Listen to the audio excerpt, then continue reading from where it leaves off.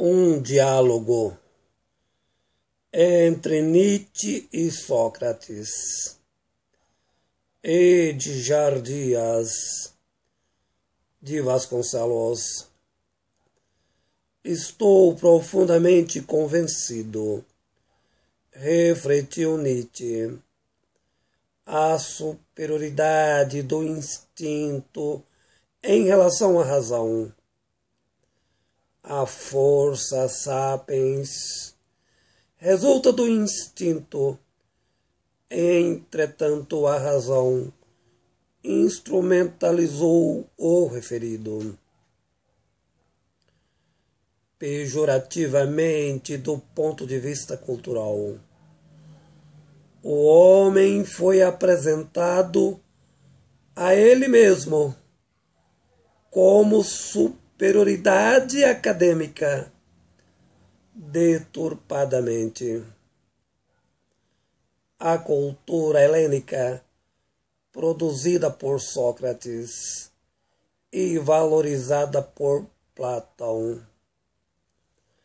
A prevalecência do espírito em relação à matéria, como se a realidade do mundo fosse apenas o equívoco da cognição.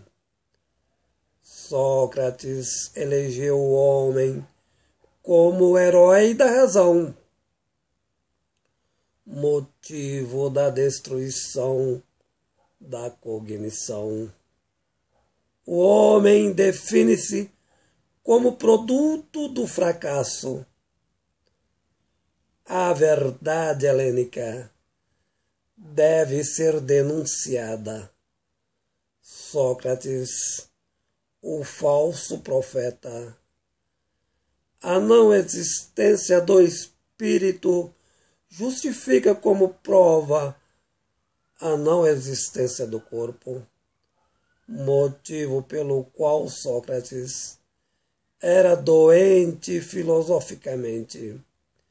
Disse Nietzsche a afirmação da razão de Sócrates, a defesa da metafísica, o mais absoluto delírio.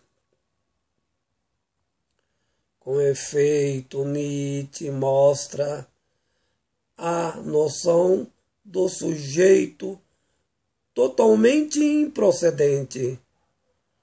O sujeito metafísico nunca existiu Aliás, nenhuma categorização de sujeito. Especificamente, como fundamento do pensamento moderno. A única existência possível a estrutura gramatical da linguagem. Desse modo, a compreensão apenas uma hipostasiação da realidade então, o sujeito tão somente a linguagem estruturada, idealizada morfologicamente. Nietzsche nega a modernidade como efetivação da história. Com efeito, o que é o raciocínio desenvolvido apenas proposições sem sentenças.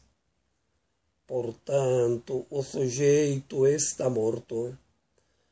A não existência da verdade, sendo obrigatoriamente as proposições subjetivadas. O que são os fatos? As interpretações, sendo que as substancialidades não se sustentam. Com efeito, a linguagem nada mais é que a representação das práticas sociais ideologizadas. O homem é essencializado ao meio como produto da sociedade. O espírito uma ilusão metafísica.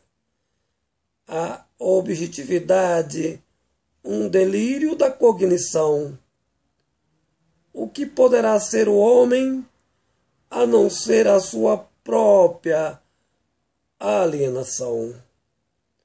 É escrito por Edjar Dias de Vasconcelos.